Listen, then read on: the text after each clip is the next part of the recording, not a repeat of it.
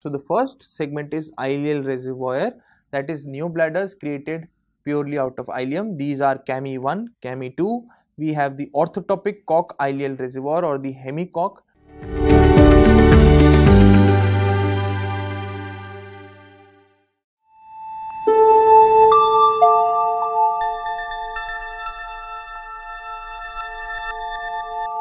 Now we talk about various orthotopic new bladders by their names. So, the first segment is ileal reservoir that is new bladders created purely out of ileum. These are Camey 1, Camey 2. We have the orthotopic Kock ileal reservoir or the hemi-Kock.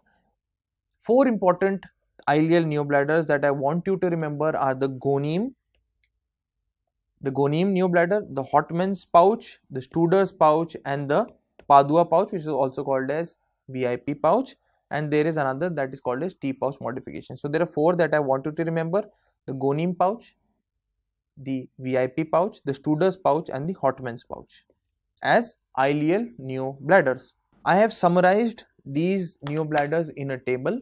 You can go through it if required, but usually questions are not asked about details of these uh, pouches a few questions that may be asked are highlighted that Ghoneim pouch which is after Abol-Enein and Ghoneim these are uh, surgeons uh, from the uh, Egypt uh, from Egypt who have devised this neobladder. It uses only a 40 centimeter segment of the ileum which is quite uh, quite a small segment for a neobladder. They fold it in a W form and the ureters are implanted by extramural serosa line tunnels which is an important uh, anti-refluxing mechanism.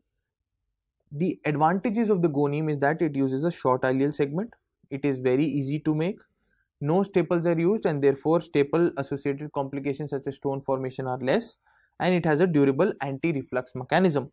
Whereas when we talk about the cons of, of the Ghoneim pouch, you must remember that because it is using a extramural serosa line tunnel, you cannot use dilated ureters for this because the this tunnel, the extramural serosa line tunnel is not very capacious. First of all, cannot be done for dilated ureters. Secondly, you require fairly long ureters and therefore it cannot be done in ureteric segments that are small that maybe had been cut because of uh, reduced vascularity of the terminal end or involvement by the disease process. And finally, because of the anti-refluxing mechanism, there may be chances of ureteroenteric anastomotic strictures. The Hautmann bladder uses 70 centimeters.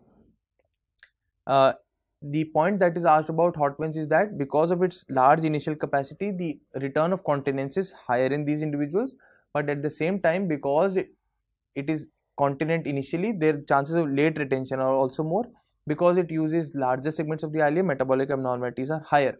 Studer has introduced uh, his uh, uh, modification of the Hautmann neobladder where they have created a 15 centimeter afferent limb. So, you have a new bladder, but there is an afferent limb which is 15 centimeter and the, in this the ureters are reimplanted. So, the advantage is that it gives you this segment of the ileum in the afferent limb that can help bridge the gap for smaller ureters and because of this segment the reflux into the upper tracts is reduced.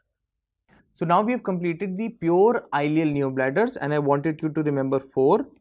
So, the ileal neobladders were the first was Ghoneim, the second was Hautmann, the third was Studer, and finally the latest addition in the uh, latest Campbell was the VIP pouch or the Padua pouch. We come to the next is the hybrid using ileal and colonic segments of this. You must remember the Mainz 3 pouch and finally there may be pure colonic neobladders which are the Reddy's pouch or the right colonic pouches. Just the name is sufficient. I have summarized it in a table so that it can be used as a ready reckoner. So, the incontinent cutaneous divergence using pure ileum you have the Kock pouch or the double T pouch. The ileocolonic CCD pouches are Mainz 1, the Indiana pouch and the Penn pouch the ileal neobladders are Ghoneim, Hautmann, Studer and the VIP pouch and finally the Mainz 3 is the ileocolonic neobladder. So, I am going to summarize the Mainz pouches that may be asked in the MCQ exams.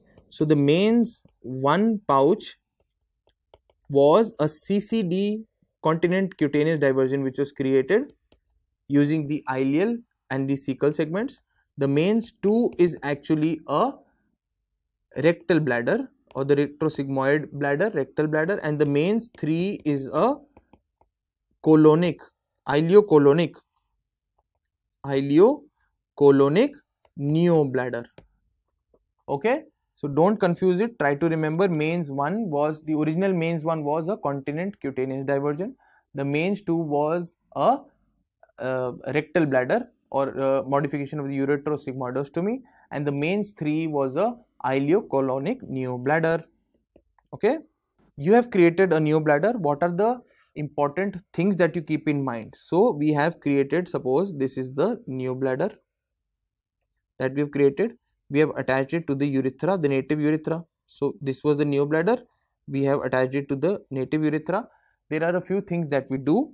The ureters have been reimplanted here. Okay. So, surgeons try to divert this urine away from the cavity of the neobladder by placing splints that are taken out into the uh, from the abdomen temporarily. These are called as ureteral splints. You to used to divert the urine away from the neobladder temporarily, and they place a large bore urethral catheter, Foley's catheter. So you try to drain the urine from the new bladder which may be done with the help of splints the first. Second is that they may stent the anastomosis with the help of ureteral stents. Double j stents may be placed instead of these ureteral splints and so these are stents. And finally you place a urethral catheter which is third is catheter. Some individuals also prefer to place a suprapubic catheter in these individuals which comes out of the abdomen so four things can be done either one or two are done and three or four may be done together or in or separately as well. So these are how you drain the new bladder. You are doing a new bladder, there are bound to be complications which are classified as early as well as late complications. The early complications of radical cystectomy include bleeding, thromboembolic complications and wound infections or systemic infections. There may be pulmonary or cardiovascular complications and in addition to this, patient may have gastrointestinal complications such as leak of the intestinal anastomosis or mechanical bowel obstruction. And finally, there may be leak of urine from the ureteroenteric anastomosis, from the conduit or reservoir itself. And finally, there are late complications such as voiding problems, metabolic complications, recurrent urinary tract infections, bowel obstruction, ureteroileal or afferent limb obstruction, urethral stricture, pouch stone, pouch rupture, vaginal fistulae.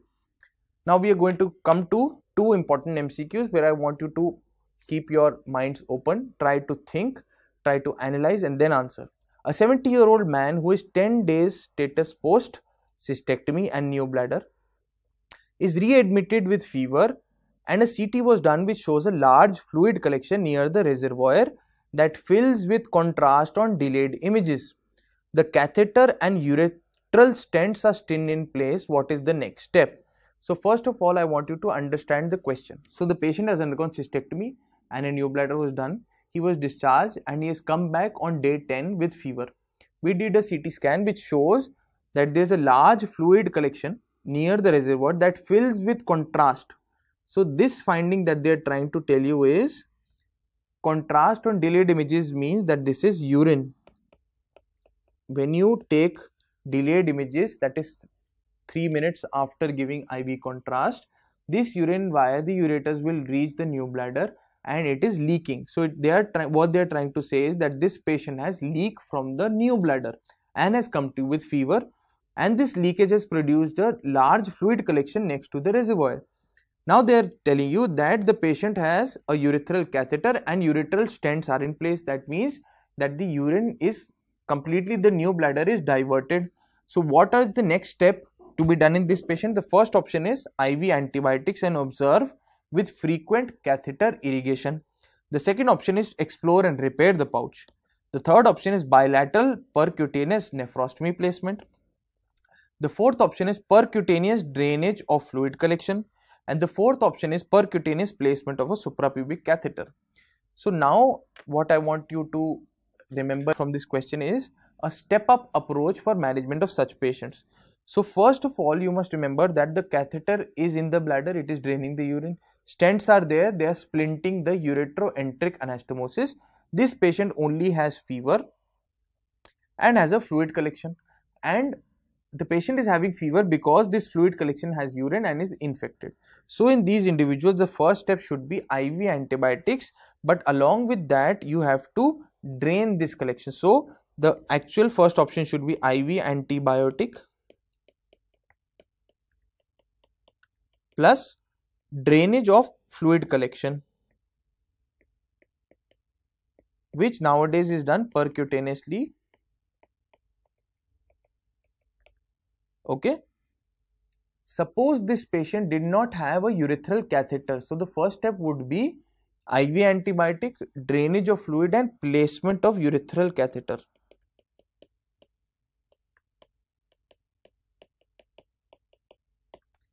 You want that the new bladder should not distend and to ensure that the new bladder is decompressed you need to drain it. So you will put a urethral catheter if it was not already present. So this patient had a large fluid collection but catheter was in situ and stents were there. So what you will do is you will do IV antibiotics and drain the fluid and place a urethral catheter if it was not there. Suppose this patient continues to leak in this percutaneous drain, continues to be septic. In those cases, the next step would be an attempt to divert the urine away from the new bladder by the help of placement of a per bilateral percutaneous nephrostomies.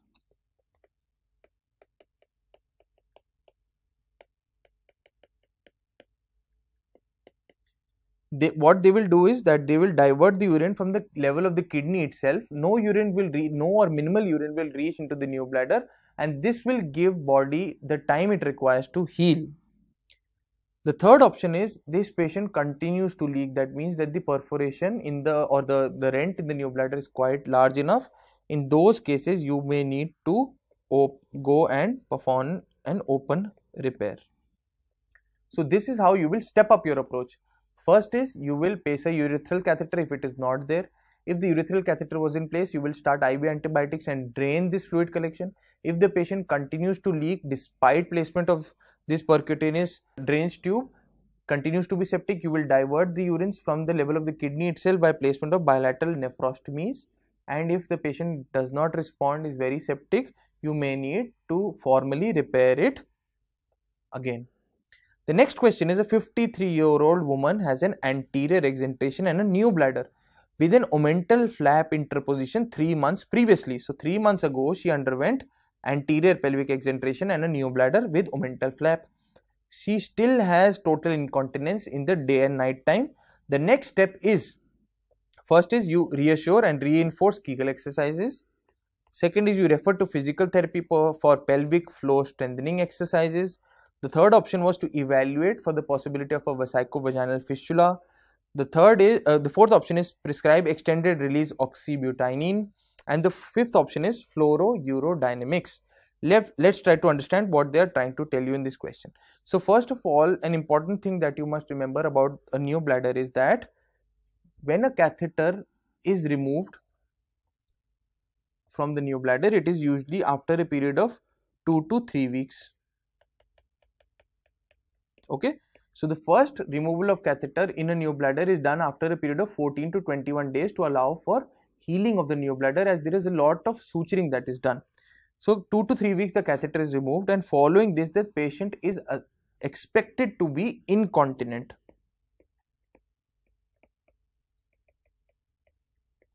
And they slowly regain this continence over a period of one year so at this time, this individual who is continuously leaking urine at 3 months is actually assumed to be physiologically incontinent which is expected in the post-operative period.